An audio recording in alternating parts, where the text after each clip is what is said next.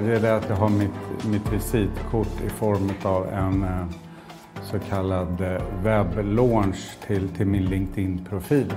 Så att det tycker jag är ganska trevligt och, och smidigt att kunna räcka fram handen till någon som vill ha mina kontaktuppgifter efter ett möte till exempel.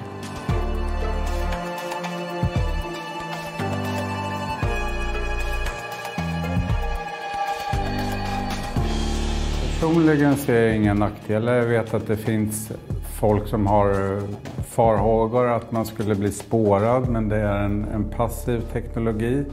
Så det finns ingenting som, eh, som man inte har kontroll över själv. Man behöver komma väldigt nära för att läsa av informationen på, på chippet. En del tycker eller tror kanske att det gör, gör ont eh, att få ett, ett, ett chip implanterat men det går att jämföra med ett getingstick skulle jag säga. Så att det är inte speciellt. Förhoppningen är ju, den, den, stora grejen är ju när, när det blir möjligt att göra betalningar. Det är det jag framförallt väntar på som en enskild funktion.